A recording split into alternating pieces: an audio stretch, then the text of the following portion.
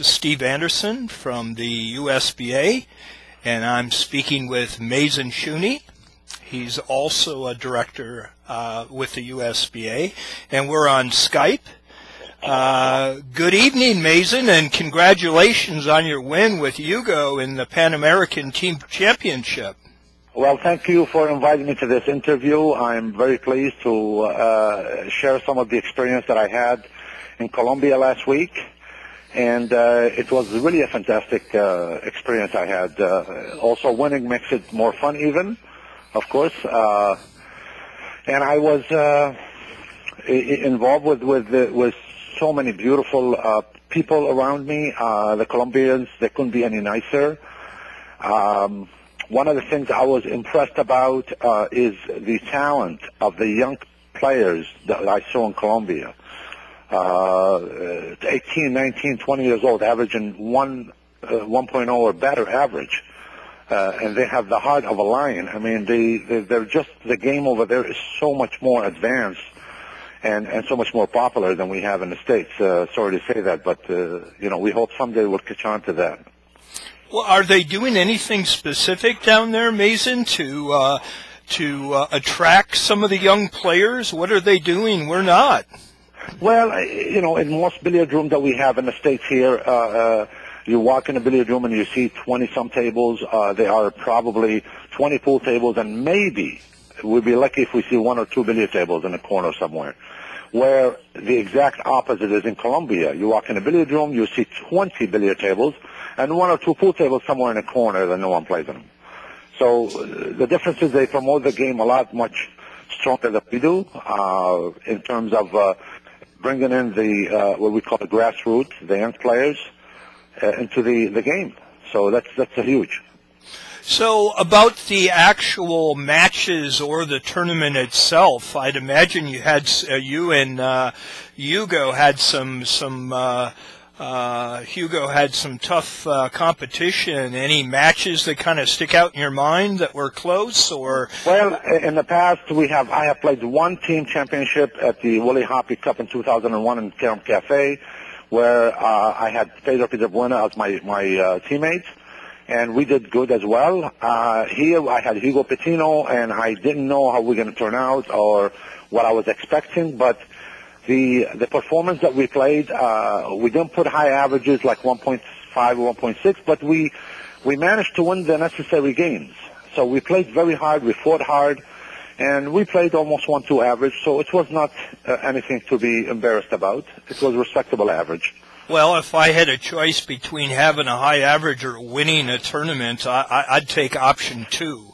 So, I, I, agree. I agree with you. Winning is, is always important. So I agree with you. Absolutely. Well, we're we're proud of you, and uh, and Thank we uh, we appreciate both of you going down there and and taking taking back the championship or whatever you want to say to the USA. So uh, hopefully you'll have a chance to go uh, next year as well. Uh, hopefully. Yeah, absolutely. Well, um, anything else you want to talk about, uh, Kali? Well, first, first, I really want to give a special thank to the USBA for, for supporting us and sending us to Colombia to play in the team championship and the singles as well. Uh, uh, we, they know we had a, one of the, we are one of the strongest teams in South America and North America as well. Uh, so, so I think our chances were good to win. Uh, we came back with everything, uh, singles and doubles. Pedro Piedrabuena dominated for uh, for the whole entire week. Uh, it was it was very special for all of us. Uh, I want to thank our sponsors as well, Tiger Products and and and Bertone, uh, my my personal sponsor Bertone Tables as well.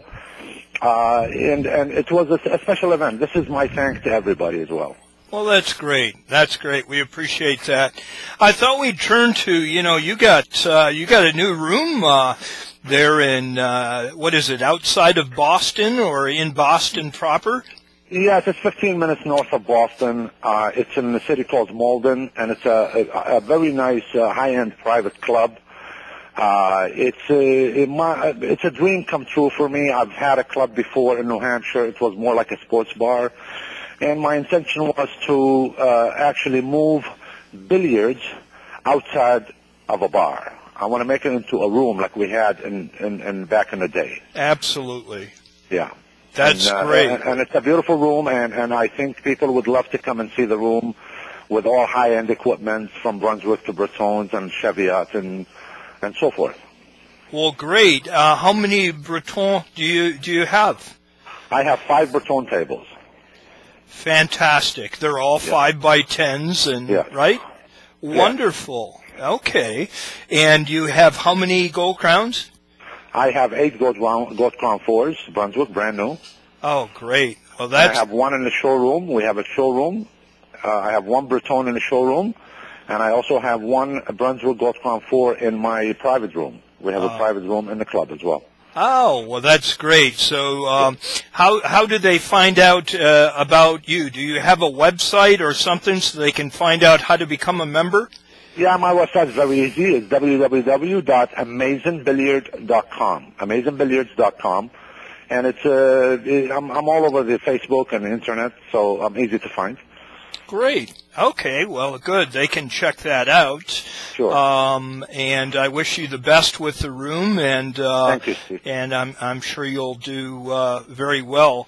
Um, one of the reasons I've been conducting these interviews is kind of a precursor to the Verhoeven Open. We're having a lot of international players coming, as we do each year, and uh, Sure. uh, obviously you're one of the uh, dominant uh, American players, and uh, you know, tell me about the uh, Verhoeven Open or the Carom Cafe International tournaments that we've ran. Uh, you've played in, gosh, how many of them? I played in all of them. I never missed one. Oh, no Uh, kidding! How many is that? I don't know. Since Sang Lee was around, he started doing the international tournaments in Carom Cafe. Uh, I've always made an attempt to come because it's a very special place to go and play billiards. I think Michael Kang does a wonderful job on running the tournament and, and inviting all these beautiful players from all over the world, uh, anywhere from Blomdahl, Caudron, Sayginer, Eddy Leppens. I can go on and on, so many names. Uh, now we have a special guest as Eddy Merckx, never been in the States before, which is uh, really a big treat, and I respect that a lot. And I think, you know, when we go to, uh, you know, I go to every year, and I always make the final at Carom Cafe, and uh, and I have, uh, I've always been able to compete with all the Europeans. Uh, now, can we beat all of them? No, of course not. We have to be realistic. But overall, we give them a good run for their money. So, you know, sometimes you beat two or three, but then, uh, you know, you cannot beat all of them. So that's how strong they are. And uh, of course, we learn so much when they come around, and and uh, this is all about uh, learning and loving the game and competing as well. Absolutely. Well, I know you'll bring, uh, bring your A game with you, so there's no doubt in my mind. You know, you, you, you touched on a subject, uh, uh, about the international players and, uh, and, and how well you play against them. I've been asking them in the other interviews that I've, I've done with the various, uh, players. And one of the questions I asked them is about, uh, why the American players uh, are not the dominating force that, for example, you find in some of the European countries. And I was wondering if uh, you have any thoughts about that. Well, there's a variety of reasons. I mean, I can I can name a few main main ones. Uh, uh, one of the main reasons, first of all, we are a big country, and it's very difficult for us to travel all over the country and to see each other play at, at a strong level. Uh, the only time I actually see Pedro or Hugo Patino is if I'm in New York, or I'm in San Diego, or they come to Malden, to Boston. Uh, those are the one, one of the few times that we see each other to play at a high level. But you know, overall, it's just it is so difficult for us to travel uh, in the plane six hours or five hours. Where in Europe, you know, uh, uh, the countries are so near each other and they are so small. So it's easy for them to hop on a, in a train for two hours to go from Belgium to Holland, an example, or or uh, from Germany to France, three hours. You know, so so those are the main issues. Uh, Well, maybe we ought maybe we ought to come up with our own, you know, like state called the billiard state, and then we can all all the billiard players can just like move to that state, and then we won't have to travel so much. that would be nice. That would be nice. That would be nice. Just a thought. Of course, it would be nice. Yes, I would love to see that. But uh, hopefully, we are we are improving in this country. I think you see that, Steve. You're with us in the USBA. I think we're progressing on on many different areas. And uh, we just need a little bit of uh, of uh, support from uh, sponsors to come aboard and and and uh, get us to to the right direction. Absolutely. You know, it's you also mentioned uh, you know pr- uh, promotion and and getting sponsors, uh, having. Uh, uh, having Kozoom uh, uh, stream our Verhoeven Open, uh, our tournament in New York City, that certainly should be a good thing for all of us, I hope. Well, I, I really have to give all the credit to you, Steve, because you have done a wonderful job in terms of getting Kozoom to the picture, to interview, I mean, to to uh, to record the tournament. The, uh, uh, you also got to give you credit for interviewing all the players, including myself, for doing that. That's a great idea, which we didn't think about. I mean, you always come out with ideas that are really great for the game, and and I know uh, your heart is in the right place, of course, and and it, it means a lot. So. Um, you can that's- keep going on. I'll take all those compliments. No, You, sir. are- well, you, you deserve it because you earned it. Well, uh, Anna, uh, uh, since I'm getting this good information from you, and I've been asking the other players, I certainly want to ask you this as well. Uh, do you have a practice regime or some sort of system like you're going to be preparing next? Of course, you just got back from uh, from Colombia, but you're going to be preparing now for uh, the Verhoeven Open. Uh, what what do you have a, a system you use to prepare for a tournament? Well, to be honest with you, my lifestyle doesn't allow me to practice five, six hours a day because I'm always working and I'm always trying to, you know, I have a big responsibility at work as well as home.